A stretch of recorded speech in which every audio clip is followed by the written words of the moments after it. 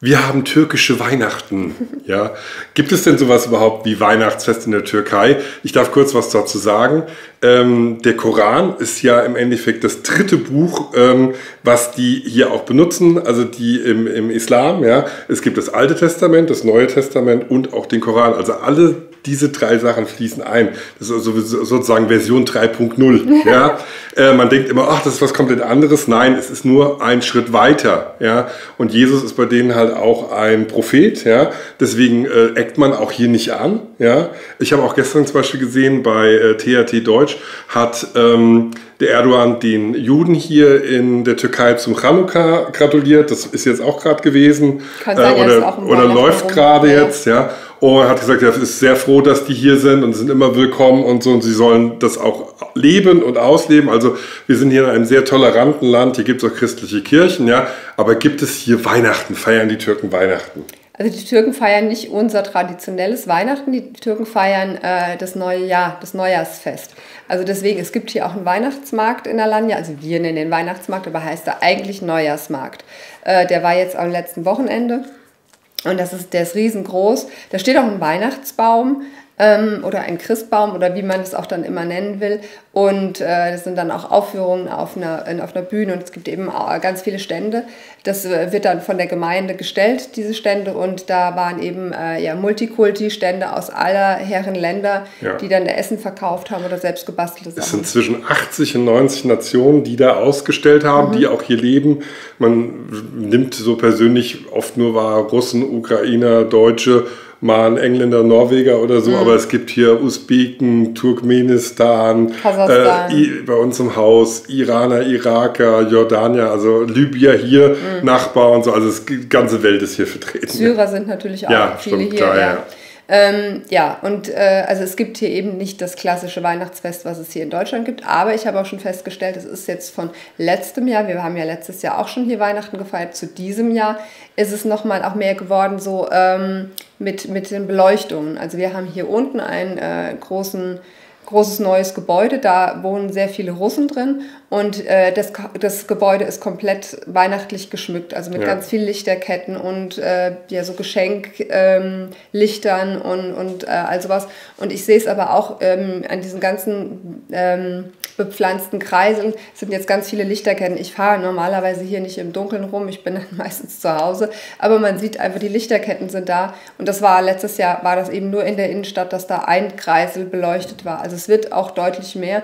Man sieht die... Ähm, Türken reagieren darauf, dass es immer mehr äh, Christen halt hier gibt und wollen denen dann auch ein, eine schöne Zeit und eine weihnachtliche Zeit bereiten. Genau, in der Metro, ähm, die vergleichbar ist mit unserer Metro in Deutschland, ja. war es auch so, dass es jetzt schon vor zwei Wochen oder so ungefähr, ne, äh, Riesending abgesperrt, die haben alles für Weihnachten aufgehört, die haben Weihnachtsbäume verkauft, aber natürlich nur in Plastik, mhm. Lichterketten, äh, irgendwelche Nussknacker und äh, Dekoartikel und irgendwelche äh, Plätzchen und Lebkuchen und solche mhm. Sachen. Also deutsche, ja. deutsche deutsche ähm, Marken sozusagen. Und zu dem Plastikweihnachtsbaum möchte ich mal sagen, ich war jetzt am, wann war ich nochmal da? Donnerstag, Freitag, ich weiß es gar nicht mehr, war ich nochmal in der Metro und da standen tatsächlich richtige Weihnachtsbäume. Nein. Ja, da waren richtige, also die waren dann nur so groß mit Topf.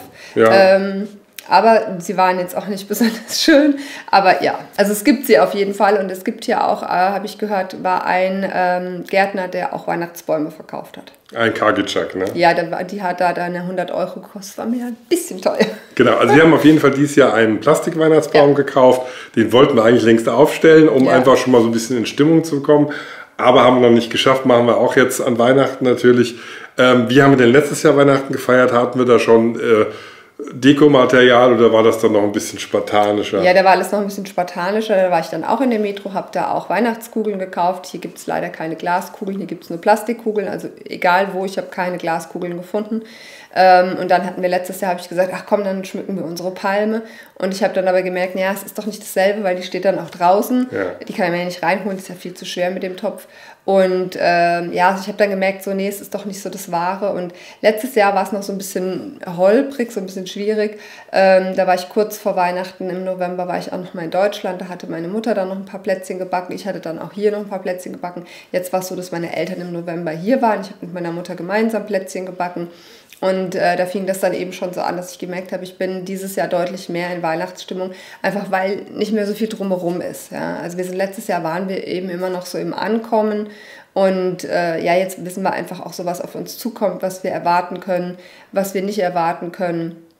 Ja, und deswegen, ähm, aber ist in Deutschland auch immer so gewesen. Es war immer so, huch, jetzt ist Weihnachten, huch, jetzt müssen wir irgendwie in Weihnachtsstimmung kommen. Das war auch immer so, irgendwie so noch auf den letzten Drücker äh, irgendwie alles noch erledigen. Das war in Deutschland auch schon so, weil da die Kinder ja auch immer erst so am 23. oder so Ferien gekriegt haben. Und äh, dann war das halt schon teilweise auch sehr stressig, ja. Genau. Also wir sind auf jeden Fall dieses Jahr mehr in Weihnachtsstimmung, obwohl es jetzt nicht kalt ist. Wir haben so knapp unter 20 Grad, so wahrscheinlich heute 18, 17, 18. Ja, ich wollte gerade, wir sind heute nicht in unserer Wohnung, ich wollte gerade auf das Thermometer gucken, aber ich glaube, sind so, ja, heute ist es ein bisschen stürmisch, so wahrscheinlich so 18 Grad rum. Genau, und äh, bei uns in Nidda, im Wetteraukreis, wo wir gelebt haben vorher, da war es nie wirklich weiß Weihnachten ein, zweimal, vielleicht dreimal in den letzten mhm. zehn Jahren oder so, war hat es mal ein bisschen geschneit und so. Und äh, ja, auf jeden Fall, wir haben äh, diesmal auch wirklich Geschenke äh, richtig gut besorgt ähm, für alle Beteiligten. Ja, selbst für dich habe ich immer kleine Kleinigkeiten. Ich habe auch was für dich. Echt? Oh, da freue ich mich, ja. ja. Und also wir konnten uns einfach ein bisschen mehr Mühe geben, ein bisschen mehr gucken und wir merken auch jetzt, wir planen, hier länger zu bleiben, weil wir jetzt teilweise Sachen auch uns angeschafft haben. Genau, wie mit ähm, dem Weihnachtsbaum. Letztes ja. Jahr war das auch so eine Sache, wo ich dann dachte so, ne, man, also man macht das nicht bewusst, aber so unbewusst war das in meinem Kopf so, ja, wir wollen uns jetzt gar nicht mehr so viel Zeug anschaffen, ne, weil das wirklich äh, uns ja dann irgendwie noch so ein bisschen hinterherhing, dass äh, unsere Freunde im September unser Haus ausgeräumt haben und was da so alles im Container gelandet ist, äh, da blutet mir teilweise heute noch das Herz oder was ich dann halt einfach extrem günstig, äh, meinen Stoff günstig äh, ver verkauft habe, ja. Ähm, und das sind auch so Sachen, wo ich im Nachhinein gedacht habe, also denke so, ja, wenn ich es vorher gewusst hätte, dass dieser Austausch so rege ist, ne, dass meine Eltern regelmäßig ja, kommen, dass das mein Bruder nicht, ja. mit seiner Frau regelmäßig kommt, das wussten wir damals nicht, ähm, dann hätten wir einiges wahrscheinlich noch behalten, was wir uns dann hätten mit rüberbringen können.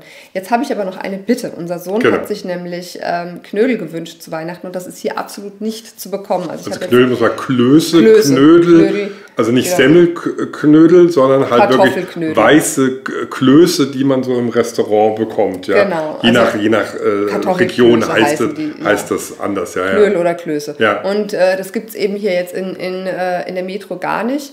Und da habe ich gedacht, naja, kann, kann ja jetzt irgendwie auch vielleicht gar nicht so schwer sein, beziehungsweise habe ich gedacht, ich gucke einfach mal nach einem Rezept und es soll angeblich auch nicht so schwer sein. Jetzt gibt es aber relativ viele verschiedene Rezepte. Die einen machen mit Kartoffelmehl, die anderen nur mit Speisestärke und so. Falls ihr ein gutes Rezept, ein gelingsicheres, einfaches Rezept habt, was schnell geht, dann dürft ihr das bitte gerne mal unten in die Kommentare schreiben. Da wäre ich sehr dankbar und mein Sohn auch.